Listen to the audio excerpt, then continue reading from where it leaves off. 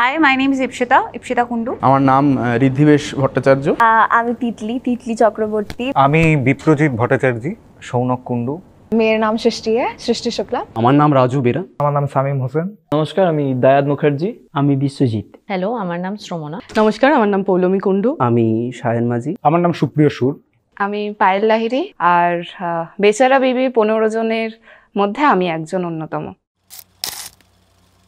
আমি মানে এই প্রথমবার কোনো অডিশন দিতে এলাম যেখানে একটা প্রবন্ধ পড়ে আসতে হয়েছে। আমাদের পড়ে আসতে হয়েছিল শর্ট অর্গানাম অফ থিয়েটার আর কিছু নিজের যা যা পড়াশুনো নিজের মতো করে। তো ইন্টারভিউটা হয়েছিল এবার। ইন্টারভিউটা মানে অত ইজি ছিল না ঠিক আছে? উনি বেশ বেশ কটমটো জিনিসই জিজ্ঞাসা করেছিলেন যে how I see performance what do I see what do I view Brecht ট্যাজ তারপর আমার জেনারেল অ্যাওয়ারনেস কাজকর্ম নিয়ে ওয়ার্ল্ড নিয়ে, আমি কী ধরনের কাজ করতে চাই, তারপর কিছু পিসেস পড়তে দিয়েছিলেন পারফরমেন্স করে দেখাতে বলেছিলেন। মানে বেশ লম্বা ইন্টারভিউই ছিল, তারপর একটা গ্রুপ সেশন হয়েছিল আমার মনে আছে। সেখানে আমাদের কিছুজনকে কিছু পিস দিয়েছিলেন আর কিছু পারফরমেন্স ওটার ওপর ভিত্তি করে করিয়েছিলেন। তারপরে প্রথম দিন স্যার বললেন যে, যেভাবে আমরা প্রসেসটা যাব, আমি ভেবেছিলাম যে একটা স্ক্রিপ্ট থাকবে, যেরকমভাবে একটা নাটক হয়। কিন্তু স্যার বললেন যে ওরকম একটা স্ক্রিপ্ট বেসিক্যালি একটা টেক্সটের ওপর বেস করেই কাজ, কিন্তু পুরোটাই ইম্প্রোভাইজ করতে করতে সবার ইনপুটস নিতে নিতে স্যারও একদমই ওইখানেই আছেন যেখানে আমরাও রয়েছি যে কি হতে চলেছে পারফরমেন্সটা কেউ আমরা জানি না। সেট কি হবে টেক্সট কি থাকবে, গান কি হবে, পুরোটাই প্রত্যেকের ইনপুটস নিয়ে আস্তে আস্তে আস্তে আস্তে আস্তে আস্তে ডেভেলপ করা। সেটা তো প্রথম দিনই খুবই একটা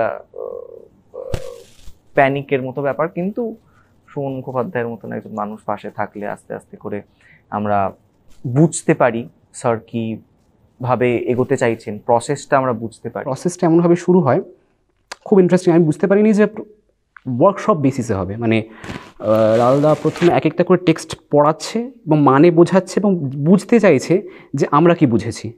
এবং সেটাকে প্রত্যেকটাকে, প্রত্যেকটা টেক্সট মানে ব্রেস্টের প্রত্যেকটা কবিতা, প্রত্যেকটা গল্প, প্রত্যেকটা নাটকের অংশ আলাদা আলাদা করে কেটে কেটে কেটে কেটে অ্যানালাইজ করা হচ্ছে। কবিতা নিয়ে আমরা কবিতাটাকে ভেঙেছি, বিভিন্ন ইমেজারি তৈরি করার চেষ্টা করেছি।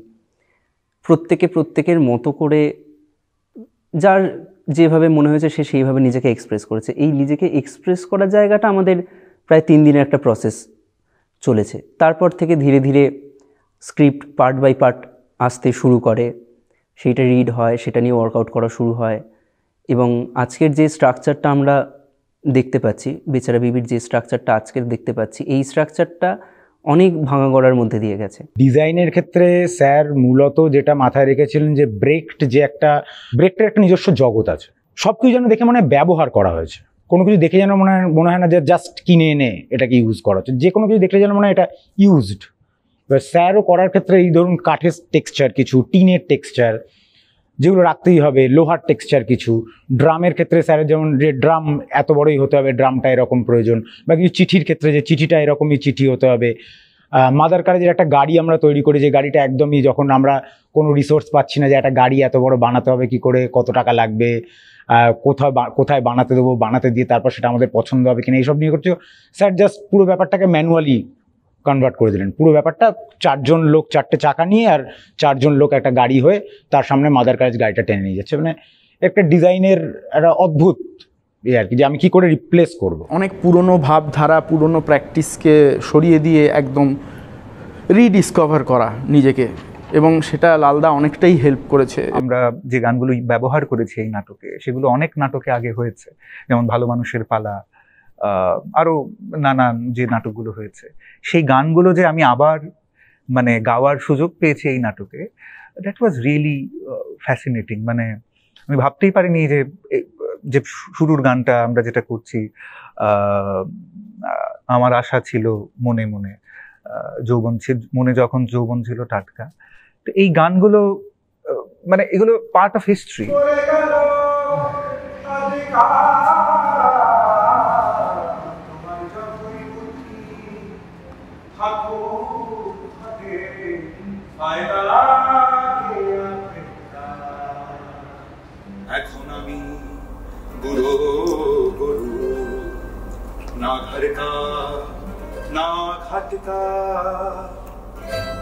গানগুলো গানগুলো আমার আগে শোনা ছিল একভাবে, তো আমি গানটা আমি তুলে নিতে পেরেছি।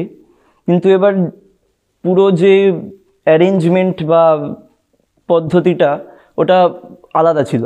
মানে গানগুলো হচ্ছে টপ্পা গান বা খুব পুরনো বাংলা থিয়েটারের গান, কিন্তু ওটা হচ্ছে একটা ইলেকট্রিক গিটার ড্রামস এ নিয়ে।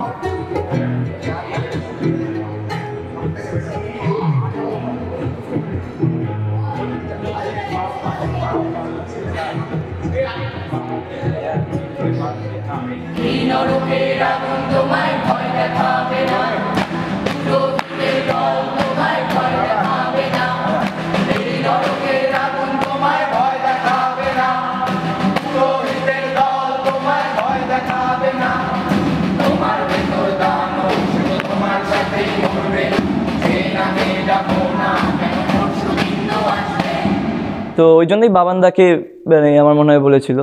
আর বাবানদার প্রসেস যেরকম খুব খুব সবাইকে নিয়ে ইনকর্পোরেট করে, যদিও নাটকটাই ওরমভাবে হয়েছে, যেটা আমার মনে হয় বলল অনেকজন।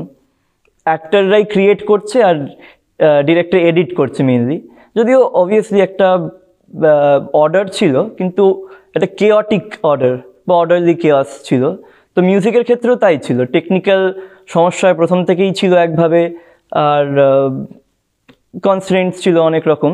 কিন্তু আমরা বেরিয়ে গেছি, কারণ একটা ভালোবাসা বা কিছু একটা ছিল। গানগুলো যারা সুর করেছে বা মিউজিক করেছে, এমনকি শুভদীপ দা মিউজিক করেছে, এরা এত ভালোভাবে মিউজিকটা করেছে যেতে আমারও বাজাতে সুবিধা হয়েছে।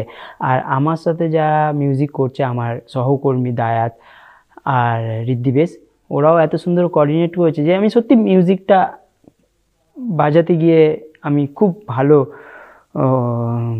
অনুভব করেছি মানে এনজয় করেছি মিউজিকটা অ্যাজ এ মিউজিশিয়ান আমার মনে হয় যে আমরা যারা কাজ করেছি, বিশ্বজিৎ কাজ করেছে ঋদ্ধিবেশ কাজ করেছে, আমি গলা দিয়েছি, বা প্রত্যেকেই মিউজিক্যালি ইনভলভড আমাদের কাছে এটা একটা সত্যি একটা নতুন এক্সপিরিয়েন্স মানে মিউজিকটাকে কীভাবে মানে উইথ ফোর্সফুল্লি নয় কীভাবে ন্যাচারালি একটা নাটকের পার্ট করা যেতে পারে? অর্গানিক্যালি কীভাবে মিউজিকটা আমাদের মধ্য থেকে বেরোতে পারে? সেটা একটা দারুণ দৃষ্টান্ত মানে লালদার প্রোডাকশন থেকে বা ডিরেকশন থেকে আমরা পেয়েছি। মিউজিক কম্পোজ হলো স্যার নিজেই মুভমেন্টটা করালেন, আমাদের নাচগুলো করালেন। এইগুলো থেকে, সবগুলো থেকে কিন্তু ড্রামা তৈরি হচ্ছে, সেইটা ভীষণ ইন্টারেস্টিং এবং এই কুড়ি দিনের মধ্যে আমরা প্রায় দু ঘণ্টা পনেরো মিনিটের একটা নাটকের ডায়লগস কস্টিউম প্রপস সেট সবটা তৈরি করতে পেরেছি। কারণ আমাদের সকাল এগারোটা থেকে নিয়ে রাত আটটা পর্যন্ত কনস্ট্যান্টলি কাজ চলেছে এবং ভীষণ এঙ্গেজিং ছিল। মানে স্যার আমাদের ভীষণ এঙ্গেজ করতে পেরেছিলেন।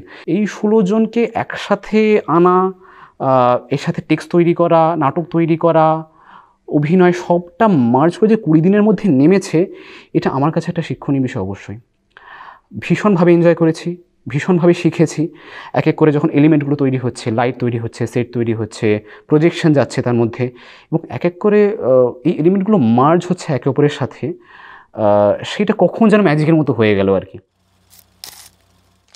স্যারকে আমার খুব ভালো লেগেছে, স্যার খুব মিষ্টি।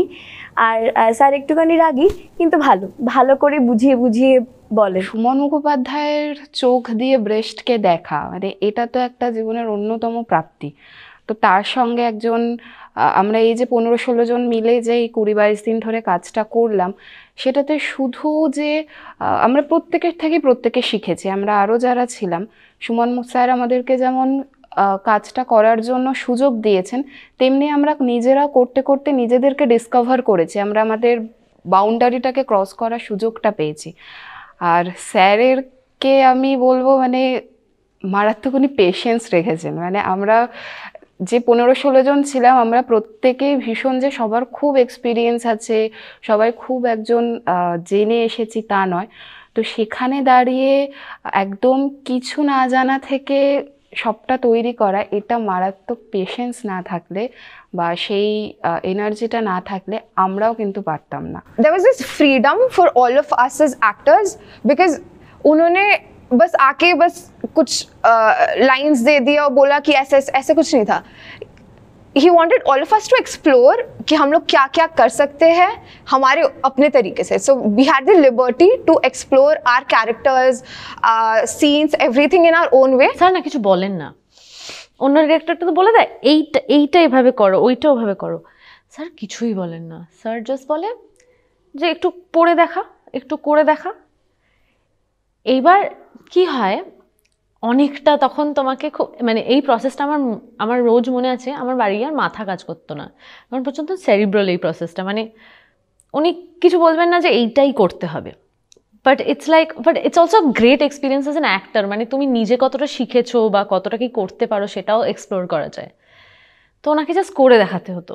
না if something doesn't work he will tell you this doesn't work maybe we can try something else but he will not be like certain যে এটাই করতে হবে, এটাই ডিজাইনটা। উনি ডিজাইনটাও মানে আমরা কি করতে পারি, করতে চাই, বা আমরা কীভাবে ভিজুয়ালাইজ করছি ব্যাপারটাকে, সেটার উপর ভিত্তি করেও ডিজাইন করে উইচ ইজ ভেরি ডিফিকাল্ট উনি যে ডাইনামিক্সটা চাইছিল চাইছিলেন তো সেইটা যেভাবে ওনার সুরে বা ওনার ওয়েতে পারফর্ম করা সেটা একটা অন্য পদ্ধতি ছিল। আর ওনার ট্রেনিংটা পুরো এক্স্যাক্টলি স্কুলে আমি যে ট্রেনিংটা পেয়েছিলাম যে ভেঙে ভেঙে। প্রথম থেকে এইটাতে খুব জোর দিয়েছেন যে তুমি কি বুঝে বলছো?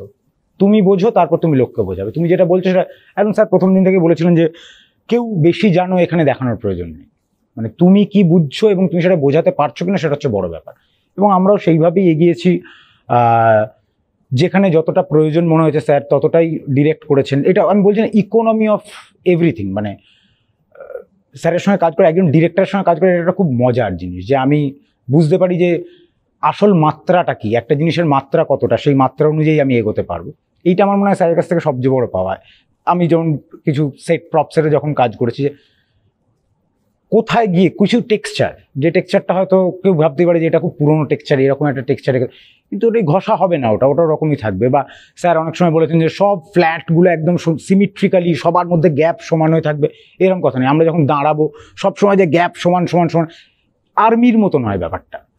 মানে খুব অর্গ্যানিক্যালি ব্যাপারটা আসবে তোমার মধ্যে থেকে। স্যার, সেইটাতে খুব বিশ্বাস করেন বলে আমার কাজ করতে গিয়ে মনে হয়েছে এবং এটা আমার কাছে একটা খুব বড় এক্সপিরিয়েন্স আমি এর আগে এইরকম আহ, ভাবে কাজ করিনি এই প্রসেসে কাজ করিনি। স্যার যে যে সাধারণ প্রসেসের মধ্যে দিয়ে নিয়ে গেছেন আর কি। আমরা ভেবেছিলাম যে স্যার হয়তো খুব চাপ দেবেন স্যার অনেক বড়দের সঙ্গে কাজ করেন কিন্তু স্যার যখন আমাদের সঙ্গে কাজ করেছেন স্যার মাঝে মাঝে বলতেন যে আমি হেডমাস্টার হয়ে যাচ্ছি। হ্যাঁ ইয়ে বকতে বকতে বলতেন। বাট আমরাও ছাত্রের মতো শিখতে পেরেছি। এটা খুব একটা মজা লেগেছে। স্যারের সঙ্গে ছাত্রের মতো অনেক কিছু রিসিভ করতে পেরেছি স্যারের কাছ থেকে। এটা খুব সহজ নাটক নয়। আমি অনেক দিন অনেক নাটক করেছি, এটা খুব একটা সহজ নাটক নয়। এটা পনেরো ষোলো জন মিলে আমরা একসাথে মানে এক একজন এক একটা জায়গায় কখন কে যাচ্ছে, না যাচ্ছে, এটা এত সুন্দর প্ল্যান্ড একটা নাটক, কিন্তু পুরোটাকে মনে রেখে করাটা খুব সহজ নয়। প্রচণ্ডই চ্যালেঞ্জিং ছিল, খুবই চ্যালেঞ্জিং ছিল আমার কাছে অভিনেতা হিসাবে তো বটেই, কারণ এই ধরনের কাজ প্রথমত তো যে কোলাজ হিসাবে, এটা তো একটা কোনো রকম ন্যারেটিভ নেই নাটকটায়। বিভিন্ন বিভিন্ন ব্রেক্টের লেখা, গান ইত্যাদি নিয়ে যে কোলাজ, এই ধরনের কাজ তো করিনি কোনো দিন আর এখানে খুব একটা হয়ও না। তো নাটকটা যে কি হতে চলেছে সেটাই বুঝে উঠতে বেশ খানিকটা সময় লেগে যায়। তারপর আস্তে আস্তে বুঝ ইভেন টেক্সট কতবার চেঞ্জ হয়েছে, শেষ দিন পর্যন্ত টেক্সট চেঞ্জ হয়েছে, শোয়ের দিনেও টেক্সট খানিকটা চেঞ্জ হয়েছে। তো এইটা একটা প্রচণ্ডই নতুন চ্যালেঞ্জিং একটা এক্সপিরিয়েন্স বেচারা বেবি কলকাতার বুকে তথা পশ্চিমবঙ্গের বুকে এমন একটা প্রোডাকশন যে ব্রেস্ট জানেও না তার যদি একটুখানি সচেতনতা থাকে সে যদি তার যদি একটু ভাবনা চিন্তা থাকে সমস্ত বিষয় নিয়ে স মানে খুব সহজেই কানেক্ট করতে পারবে যে আমরা কি বলতে চাইছি বা আমাদের বলার উদ্দেশ্যটা কি। আমরা যেভাবে নাটকটা করছি ফার্স্ট হাফটা একটা সম্পূর্ণ ব্রেকটের অন্য কারিগরি এবং সেকেন্ড হাফটা ব্রেকটার একটা অন্য কারিগরি। এটাকে আমি থিয়েটারের থেকেও অনেক বেশি পারফরমেন্স বলব কারণ আমরা এখানে একটা অনসাম্বল ব্যাপার করছি এবং কিন্তু পারফরমেন্সটার মধ্যে একটা সুতো রয়েছে মানে একটার সাথে আর একটা সেলাই করা রয়েছে। প্রথমত তো এক্সপেক্ট করি হাউসফুল হবে আশা করছি। দ্বিতীয়ত এক্সপেক্ট করছি যে দর্শকের আউটপুট আরও যাতে আমরা পাই। দর্শক আপ্লুত হয়ে যাবে খুব ভালো লাগবে সবার প্রচুর হাউসফুল শো হবে। অবশ্যই শো হাউসফুল হবে এটাই আমরা চাইব। কিন্তু এমনটা নয় যে ব্রেস্ট জানি না বা আমি থিয়েটার খুব একটা দেখি না।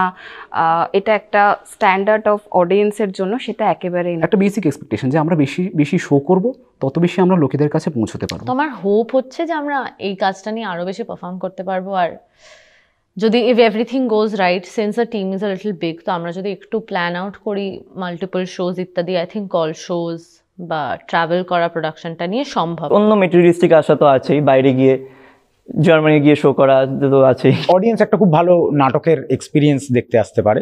অবশ্যই একটা খুব ভালো নাটকের এক্সপিরিয়েন্স যেমন নাচে গানে ভরপুর যেরকম ব্রেকটের নাটক হতো সেরকম একটা এক্সপিরিয়েন্স এই কাজটার পরে আর কিছু হোক না হোক অন্তত কলকাতায় ব্রেস্ট নিয়ে চর্চাটা আবার বেড়ে যাবে। লালদা যে মডার্ন টাইপ অফ অ্যাক্টিং যে modern language of theatre present করতে চাইছেন দর্শকদের সামনে সেইটা যেন আমরা মানে দুশো শতাংশ অ্যাচিভ করতে পারি। থ্যাংক ইউ মানুষ বড় বেশি গেলে এত খেলে চলে? তাই তো তাকে খাটাতে গেলে পয়সা পাখা নেয়। খাদ্য সৃষ্টি করতে গেলে মজুর ছাড়া চলে না। রাধুনির দোষ নেই বাবা দাম সে বাড়ায় না। বাড়ায় যত খাইয়ের দল হাড়ি চেটে চেটে। আর পেটুক শ্রমিক যেথায় যত, আমার ঘাড়েই জোটে। মানুষ জিনিসটা আদর দেখি, বলো দেখি, কখনো ভেবেছ কি? মানুষ কাকে বলে?